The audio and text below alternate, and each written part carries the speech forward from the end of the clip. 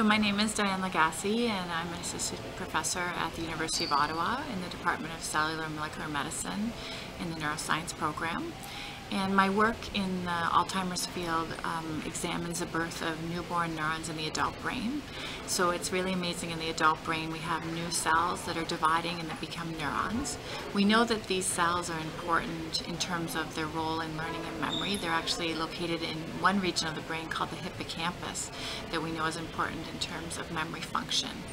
And what we're trying to understand is in Alzheimer's disease, we know there's a group of proteins called presenilins. And these proteins, um, we're trying to understand the role of these proteins in the newborn cells in terms of what they do in terms of the birth of newborn cells.